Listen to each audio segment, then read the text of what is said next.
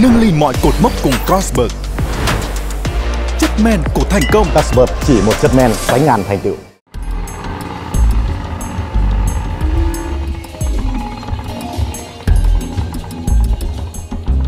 Chào các sát, hãy đầu tư cho con, con là Baby Shark Yeah. Đầu tư bao nhiêu? Bao nhiêu phần trăm? 100 phần trăm Một trăm phần trăm luôn. 100% Một trăm phần trăm luôn. Được, chơi ngay, rắc đầu tư luôn. Cho hết luôn à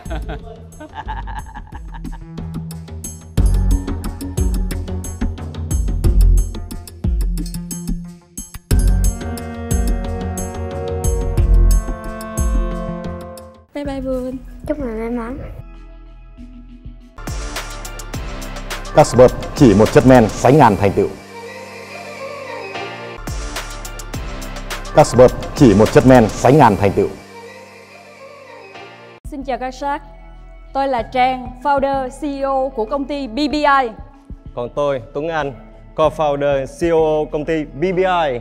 BBI là công ty xuất nhập khẩu, sản xuất, phân phối mũ bảo hiểm, đồ bảo hộ theo tiêu chuẩn an toàn quốc tế dành cho người đi xe mô tô, xe gắn máy. Hiện nay chúng tôi đang cung cấp cho khoảng 300 đại lý và hơn 10 hãng xe trên toàn lãnh thổ Việt Nam và chúng tôi đã bắt đầu xuất khẩu đi một số thị trường. Hiện nay thì chúng tôi đang sản xuất và phân phối cho hai thương hiệu chính của chúng tôi đó là Bulldog và Eagle. Ngoài ra thì chúng tôi còn là nhà phân phối độc quyền tại lãnh thổ Việt Nam của thương hiệu hiện đang ở top 10 thế giới đến từ Tây Ban Nha, đó là LS2 thì mỗi một lần giới thiệu về công ty thì phần lớn mọi người là nghĩ chúng tôi đã bán mũ bảo hiểm, đồ bảo hộ dành cho người đi xe mô tô, phân khối lớn, chạy tốc độ cao. Thì tuy nhiên ngoài những cái sản phẩm đó ra, phần lớn các sản phẩm của chúng tôi đó là dành cho những người đi xe mô tô, xe máy, dùng để bảo vệ hàng ngày. Ví dụ như bộ đồ tôi đang mặc ở đây, nhìn nó rất là nhẹ nhàng và đây là đồ để sử dụng hàng ngày. Đến nơi làm việc thì chúng ta có thể là nhẹ nhàng cởi ra và cất đi để có thể làm việc giống như một set là nhân viên văn phòng thôi. Thì toàn bộ những cái trang phục mà tôi đang mặc ở đây nó đều sử dụng nguyên vật liệu có thể chịu được ma sát và có thể là hấp thu được lực va đập ở tại một số vị trí trọng yếu giống như là lưng, ngực, vai, gối. Thì theo thống kê ở Việt Nam hiện có hơn 72 triệu xe mô tô xe gắn máy lưu hành và mỗi một năm thì có trung bình từ 2 cho tới 3 triệu xe đăng ký mới. Nếu như tính là mỗi một người sử dụng một xe máy và 36% trong số này có thu nhập phù hợp để mua sản phẩm của chúng tôi thì ước tính cái giá trị của thị trường riêng mũ bảo hiểm đạt đến 1 tỷ đô. Và nếu tính luôn cả quần, áo, giày, găng tay và các cái phụ kiện để bảo hộ lên đến 2 tỷ đô. Và hiện nay thì uh, doanh thu của chúng tôi lũy kế từ năm 2016 cho đến nay đó là hơn 350 tỷ. Và năm nào chúng tôi cũng có lời, kể cả hai năm Covid và kể cả năm suy thoái kinh tế như hiện nay. Tuy nhiên thì cái thị phần của chúng tôi chỉ có khoảng 0,5% thôi, một con số rất là thấp so với cái giá trị của thị trường. Cho nên điều mà chúng tôi trăn trở và băn khoăn không phải là làm sao để phát triển mà là làm sao để phát triển thần tốc. Tại vì nhà nước Việt Nam đã có rất nhiều cái biện pháp, những cái chính sách để làm giảm cái số vụ tai nạn giao thông. Tuy nhiên thì đến năm 2022, số vụ tai nạn giao thông là 11.000 vụ. Nó đã khiến cho hơn 13.000 người thương vong. Nhắc đến con số này thì khá là xúc động thì mỗi một ngày trôi qua có 17 người ra khỏi nhà nhưng họ không bao giờ quay trở về nữa. Đó là điều khiến chúng tôi không bao giờ bỏ cuộc trong cái công việc này và trong cái ngành nghề này của chúng tôi. Vì vậy thì tôi đến đây mời gọi các sát cùng khai thác thị trường tiềm năng này và cùng chúng tôi bảo vệ người Việt Nam an toàn hơn, đẹp hơn. Hãy đầu tư 30 tỷ cho chúng tôi để đổi lấy 18% cổ phần. 18% cổ phần. 30 tỷ. Cái năm gần nhất 2022 và 9 tháng đầu năm 2023 thì doanh thu và lợi nhuận như thế nào? Doanh thu tới thời điểm này từ đầu năm 2023 là 42 tỷ ạ. 42 tỷ lợi nhuận trong đó được bao nhiêu phần trăm? Chỉ số ROI của chúng tôi đó là 23%. Tầm 8 đến 9 tỷ gì đó. Dạ đúng rồi. À, lâm xâm một tháng là lãi được 1 tỷ. Cái mức tăng trưởng kép từ lúc mà chúng tôi bắt đầu khởi nghiệp đến giờ là 22% là đã bao gồm 2 năm Covid và cái năm suy thoái hiện nay. Và nếu như thị trường mà không có những cái biến động tiêu cực thì chắc chắn cái con số tăng trưởng của chúng tôi rất là nhiều. Chủ yếu hiện tại bạn phân phối qua cây nào? B2B những khách hàng của chúng tôi là bao gồm những cái cửa hàng à, kinh doanh mũ bảo hiểm, đồ bảo hộ, những cái cửa hàng bán xe máy, xe mô tô, cửa hàng chăm sóc xe máy. Ngoài ra thì có những cái công ty, những cái tổ chức thì họ muốn trang bị bảo hộ cho nhân viên của mình và một nhóm khách hàng nữa mà chúng tôi mới vừa phát triển gần đây đó là những cái nhà phân phối ở nước ngoài. Chúng tôi xuất khẩu. Mình sản xuất hết ở Việt Nam hay sao? À, chúng tôi sản xuất khoảng 20 nhà sản xuất cả Việt Nam lẫn ngoài Việt Nam. Ừ. Và mình đảm bảo chất lượng như thế nào? Chất lượng chúng tôi sản xuất hàng, chúng tôi chọn lựa hàng theo cái tiêu chuẩn quốc tế, ví dụ như là DOT của Mỹ, SCE của châu Âu và phần lớn những cái khách hay là những cái người expat, người ờ, nước ngoài mà sinh sống tại Việt Nam thì luôn ưu tiên chọn sản phẩm của Ừ. chúng tôi bởi vì họ có thể xách cái sản phẩm về nước để sử dụng. hiện tại một cái nón trung bình giá trung bình bao nhiêu ta Giá thì nó từ 600 ngàn cho tới hơn 20 triệu và cái sản phẩm mà chúng tôi bán nhiều nhất đó là khoảng tầm 1 triệu cho tới 2 triệu. Một cái bộ trên người anh đang mặc thì anh có thể phân tích từng cái item một là giá sẽ sẽ rơi vào khoảng bao nhiêu không? À, cái áo tôi đang mặc ở đây thì uh, 2 triệu rưỡi Quần này là 2 triệu rưỡi Giày chúng tôi đang mang ở đây là 2 triệu 7 Đối với tôi thì đây là một doanh nghiệp có thể nói là khá là healthy về cái mức độ tăng trưởng của mình cũng như là cái biên lợi nhuận mình đang có hàng năm thì chưa bị lỗ bao giờ đúng không? Dạ đúng rồi Thế nhưng mà cái mà tôi chưa thấy được là làm sao để một cái doanh nghiệp như này có thể tăng trưởng vượt bậc. Thực ra thì ngày đến đây thì chúng tôi đã chuẩn bị một cái bài toán là nếu như các sát đi ở ngoài đường thì nhìn thấy là có hơn 95% những người đang tham gia giao thông, họ đội những cái mũ nửa đầu. Đó là khách hàng tiềm năng của chúng tôi. 95% thị trường đó là một cái thị trường rất là lớn. Thì để làm sao để họ chuyển đổi họ thay đổi họ nhận thức được rằng cái mũ nửa đầu nó không đủ khả năng bảo vệ. Thì cái chuyện chuyển đổi này nó tạo nên một cái tệp khách hàng rất là lớn và rất là bùng nổ cho chúng tôi. Theo như phân tích của giá trị thị trường của chúng tôi thì 36% trong số 72 triệu người đang tham gia giao thông thì có thu nhập bình quân là từ 100 cho tới 265 triệu. Đây là cái nhóm đối tượng khách hàng có thể mua và dùng những sản phẩm của chúng tôi. Năm 2022 là lợi nhuận anh bao nhiêu? Năm 2022 doanh thu của BBI là 65 tỷ. Ừ. Dạ. doanh thu À. ra không doanh thu ra không sau khi trừ chiết khấu rồi rồi đúng không? Dạ. rồi lợi nhuận đó bao nhiêu? EBIT của em là 12.7 tỷ ạ. 22,7 tỷ. Thì bình thường giả sử như một công ty thương mại á giá trị doanh nghiệp à, là khoảng tầm khoảng 5 đến 7 lần cái lợi nhuận của chị mà thôi. Đấy là giá trị mà kia lắm mà ví dụ bây giờ 12 tỷ nhân cho 5 lần là khoảng đâu vào 6 70 tỷ. Mà anh gọi đây 30 tỷ chỉ có 18 phần trăm. Có nghĩa là có nghĩa ở đây là có sự chuyển đứa gáp ba lần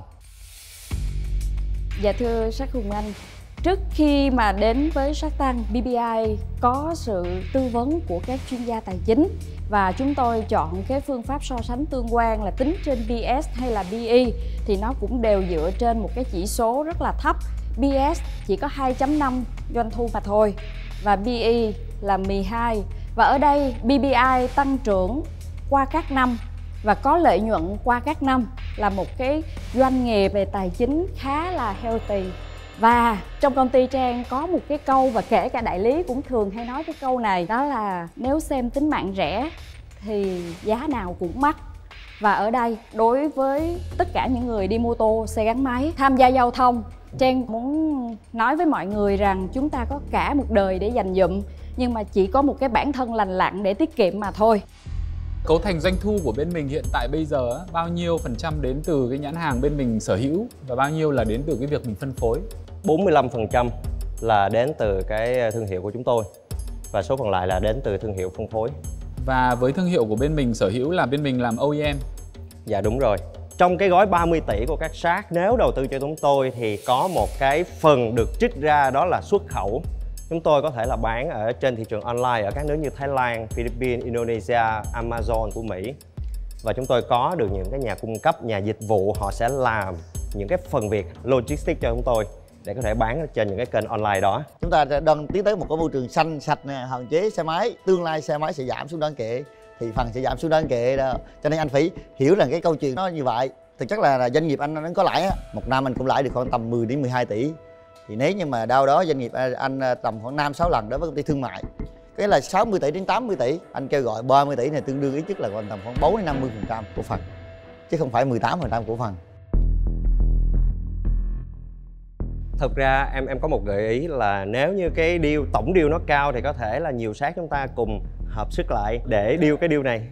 thông thường ấy các cái doanh nghiệp mà đi gọi vốn phải có nhu cầu sử dụng vốn rõ ràng để phải đốt phải tiêu phải lỗ cái số tiền gọi vốn đi để làm gì? Để tăng trưởng mạng lưới, để giết chết đối thủ, để đại nhảy vọt, để hướng đến một tương lai tươi sáng hơn, kiểu kiểu như thế.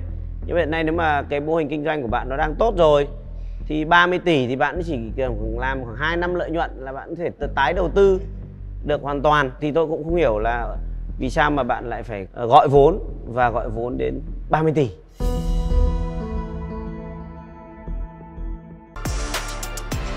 Casper chỉ một chất men sánh ngàn thành tựu. Casper chỉ một chất men sánh ngàn thành tựu. đó là 10 tỷ là sử dụng cho các việc truyền thông thay đổi nhận thức thay đổi cái môi trường kinh doanh để biến cái 95% đó trở thành khách hàng tiềm năng thứ hai là chúng tôi sẽ dùng 5 tỷ để phát triển cái thị trường xuất khẩu là chúng tôi sẽ tham gia các cái uh, triển lãm, những cái ờ, hội chợ chuyên ngành ở các nước ngoài, đăng ký sở hữu trí tuệ ở các nước và tìm kiếm nhà phân phối, xây dựng cái kênh phân phối ở ờ, các cái nước lân cận. Tại vì thực ra mà nói về câu chuyện là cho dù những nước mà đi xe hơi rất là nhiều, đi xe máy rất là ít thì cái giá trị thị trường và cái thị trường mũ bảo hiểm, đồ bảo hộ hiện giờ nó đang vẫn rất lớn hơn Việt Nam, lớn hơn Việt Nam rất là nhiều về mặt giá trị.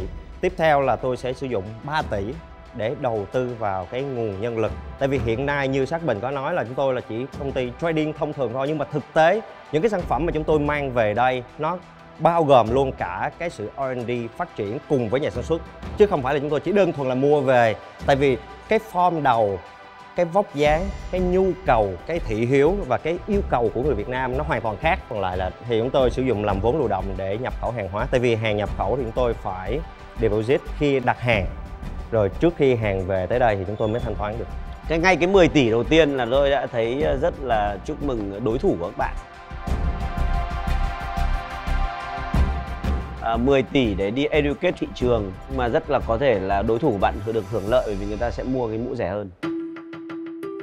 Các cái mũ của bạn nó là là, là, là sản phẩm premium nó là ngách tức là những người mà phải đi xe máy rất xịn sò đi xe máy đua hoặc xe máy đắt tay ga tất tầm cỡ 80 triệu trở lên người ta mới bắt đầu nghĩ đến việc là phải là sử dụng đồ thời trang. Mà với những sản phẩm ngách như thế thì mình tiêu vào truyền thông marketing lại vô tình lại thay đổi nhận thức không đảm bảo được là bạn sẽ lùa được cá về đúng cái ao của nhà mình.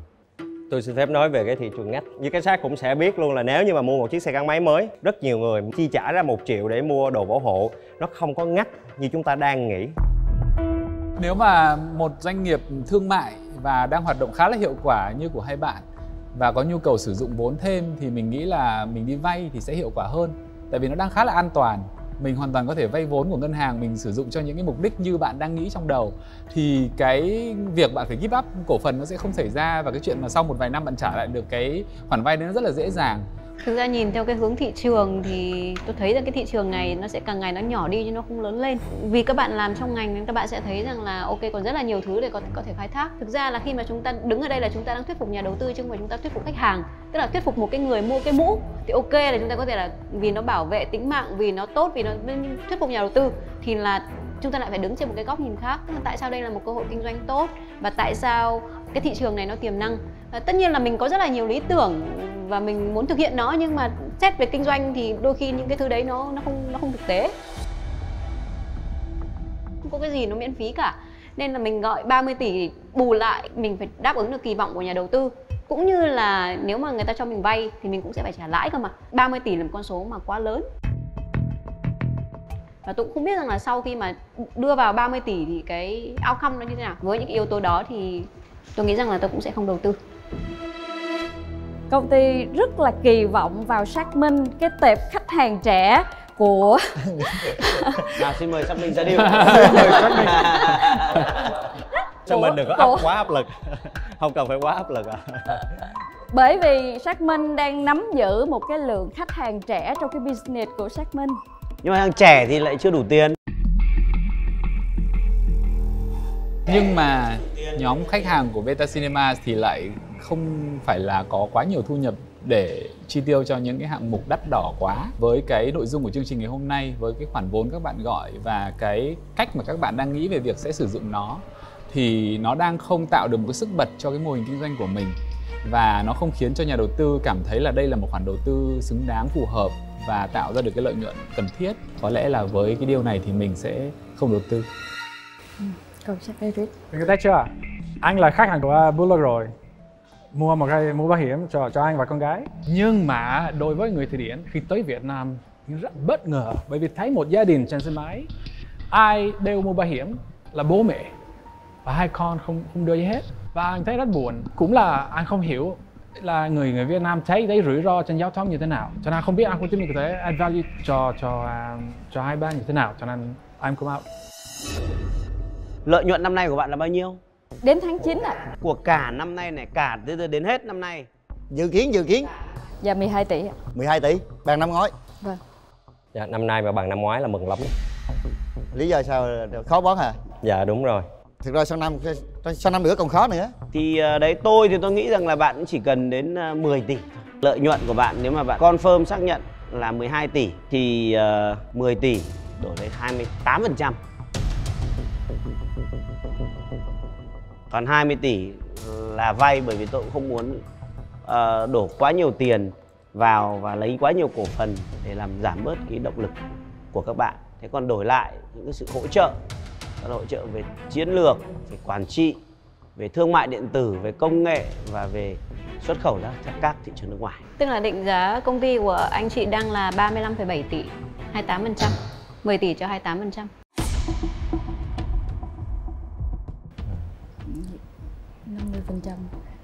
Không gia được. Cảm ơn đi không cái giá sau cùng anh chốt bao nhiêu người ta nói ờ, là tiền không mua được hạnh phúc, nhưng mà trang nghĩ rằng là tiền của sắc bình thì sẽ làm được rất là nhiều thứ. Thứ nhất là lợi nhuận từ hoạt động kinh doanh. Thứ hai, công ty trang có một câu, đó là mỗi chiếc nón bán ra là công đức. Thì thấy thêm một người an toàn thì chúng ta cũng sẽ an lòng hơn. Cảm ơn sắc bình lựa chọn đồng hành cùng bbi cái quyết định sau cùng của trang 10 tỷ cho 10% cổ phần. Thì sát thấy như thế nào ạ? Tôi từ chối.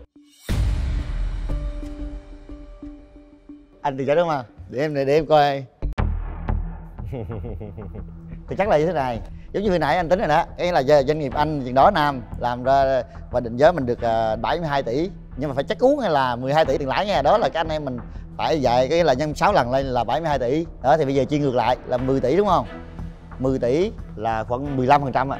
Bây giờ 15 phần trăm còn 20 tỷ là cho vay nếu như có nhu cầu. Nhưng thực chất là bây giờ anh chị không cần à, nhiều vốn vậy đâu nhưng mà khi nào cần là mình sẽ hỗ trợ anh chị thêm 20 tỷ phần lại.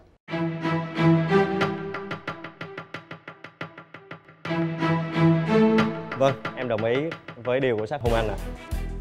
đó 10 tỷ 15 phần trăm kèo rồi. cảm ơn chị. Casper chỉ một chất men sánh ngàn thành tựu nâng lên mọi cột mốc cùng Carlsberg.